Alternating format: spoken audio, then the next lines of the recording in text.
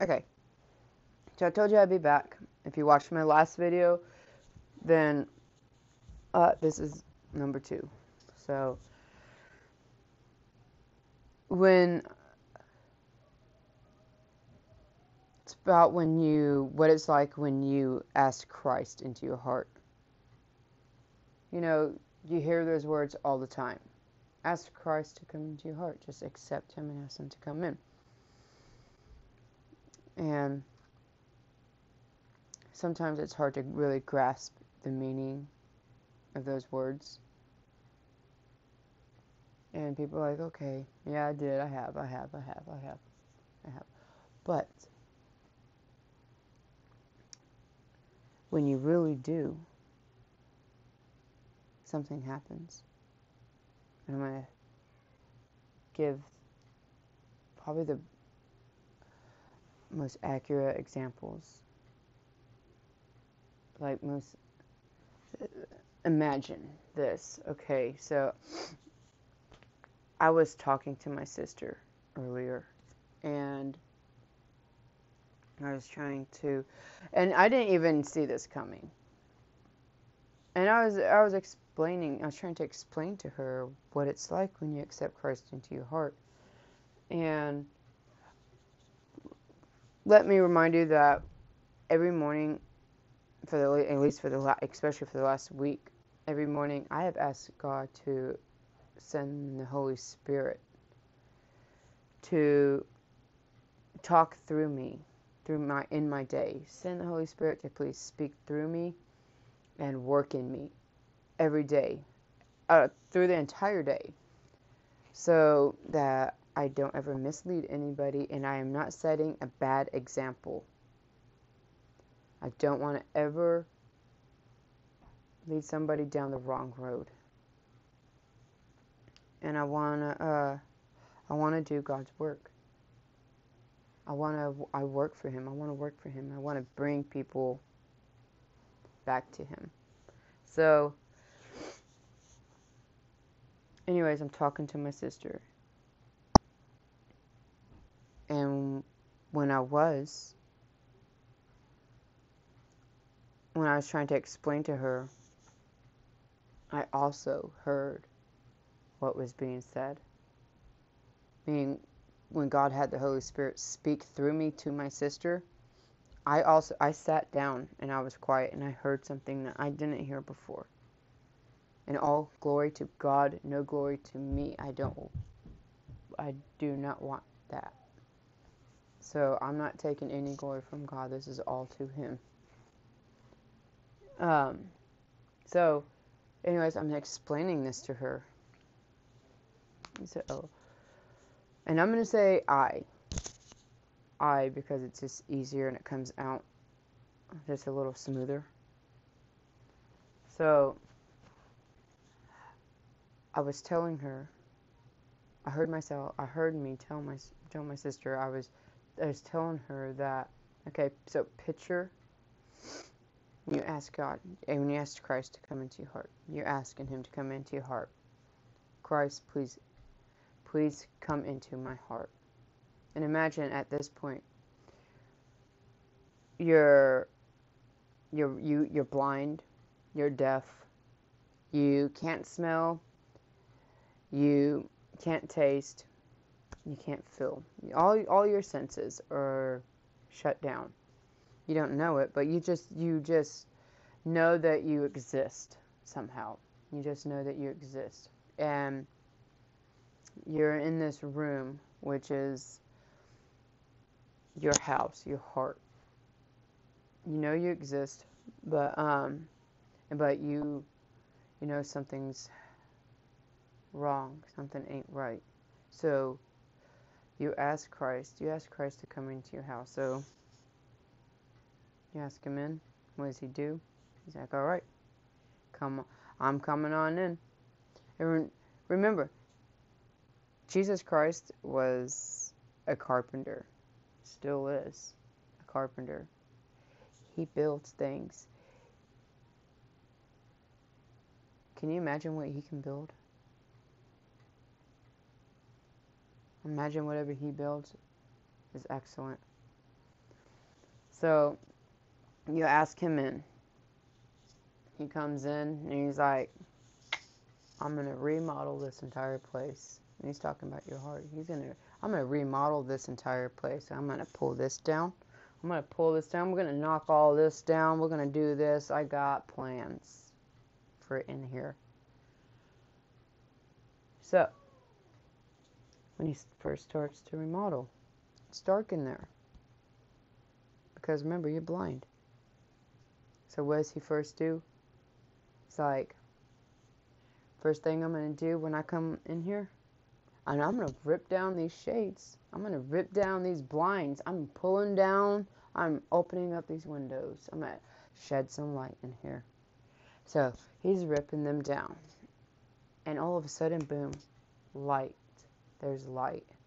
And it was pitch black first. All of a sudden, he's ripping these down, and all of a sudden, here comes light right on in. And all of a sudden, you can see. You're able to see your first sense. You can see. And you're looking and you're seeing and you're realizing what you've been living in this entire time. You're like, can you imagine? Just try to imagine the most disgusting thing. What grosses you out the most? Bugs? Crap? Nasty? Like, says everything nasty you can think of. You're stepping in it, it's on the walls, it's dripping off the ceiling. It's all around you. It's on. Now, so your first sense is awakened. I can see and I don't like what I see. And I don't like I don't like it at all. It's around me and it's on me and I don't like it. Like what is this stuff? So, the first one's awakened because he opened, he pulled the blinds off, he pulled the shades off. Boom, you can see. All of a sudden, your hearing kicks in. He goes, Now, listen to this. I'm going to give you some hearing. I'm going to turn it up for you. It's like, all of a sudden, you're hearing things that there's sound there's things that you like, what is this? What's going on? What is this awful sound that I am hearing? What is this? You you realizing that you what you've been the noise that's been around you. The filthy talk that's been around you, the the poison that you've been living in and surrounded by. You're hearing it. You're seeing it and you're like and then all of a sudden your your smell kicks in he gives you smell it's like and you're like I can smell what I've been stepping in this entire time. What's on my walls, I can smell it. I see it. I smell it and it stinks. And it's disgusting. And you're grossed out. Yeah, you are. You're like, again, yo, I, I've been living in this. This is what I have been so blind. I have been so deaf. I have I've been without smell. And what's the next one? Uh, taste. All of a sudden, your taste kicks in. And you taste what has been coming out of your mouth this entire time. You taste what you've been putting in. You taste what you've been pouring out. And it don't taste good. You're like, wow, no way. I just, I've, I've had that in my mouth this entire time. That tastes awful. I've letting this in, into my body and also I'm letting it out into the world and I'm just like I'm giving it to everybody else also. It tastes awful. But and then all of a sudden you can feel sense of touch. you are able to feel everything around you. You can feel it. It's nasty. It's ugh, and all of a sudden you you're feeling you're feeling what you've been doing this entire time. You you feel convict you feel conviction. Conviction is a blessing. Conviction lets you know what you've been doing wrong. It's the greatest blessing because when you realize what you've been doing wrong this entire time, you you're able to recognize it and you fall to your knees. You, uh, you're not even pushed to your knees. You literally you can't help but to fall to your knees and um, just cry. I'm sorry. I didn't realize that this is what my house looked like. I can't believe I have been living in this. I didn't realize the filth that was coming out of my mouth. I can't believe what I was letting into my body. I'm sorry for the hurt that I've caused others because I've been so blind and deaf. Couldn't, I'm sorry that I wasn't able to smell the death around me and the death that I was stepping in myself. And Jesus is like, that's what I'm here for. I'm here to help you recognize it so that and open up your eyes. Let's take the shades off here so that we can get to work. We got cleaning to do.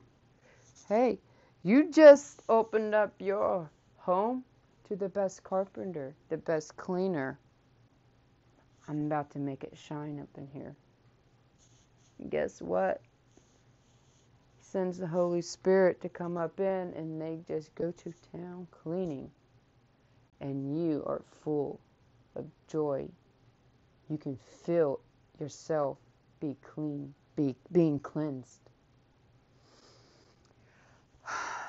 And when you cry, when you cry for things that you that's when you drop to your knees you just can't help it you fall you're not being pushed to your knees, you, but you fall to your knees automatically, naturally. And you and that's when you ask God for forgiveness. It just comes out. You you beg, you I'm sorry. I am sorry. I have done this. This is what I have been doing this entire time. It just flows out of your mouth and he gives you new eyes, new ears, a new sense of taste, a new sense of smell, a sense of touch, feeling. He gives it all brand new to you. And you can't help but to want to. You can, everything smells different. Smells beautiful all of a sudden because your house is clean. It's getting cleaned up in here. It's getting cleaned. It's getting clean and everything is beautiful. It's, that doesn't mean hard times ain't going to come because they will come but as long as you have your armor on, the armor of Jesus Christ, his shield, and his sword, which is his word, you will be able to slay whatever comes at you. And whatever tries to come at you and hit you, you have his armor on. You got a clean house. You're getting cleaned up.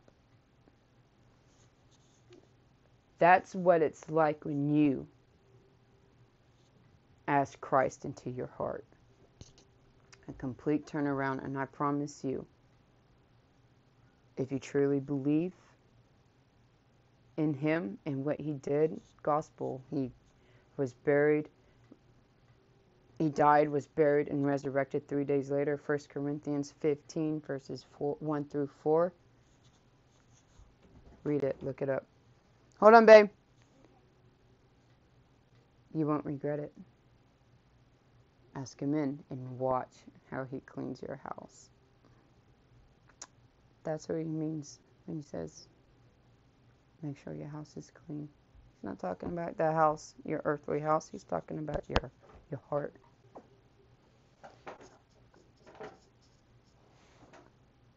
I love you guys.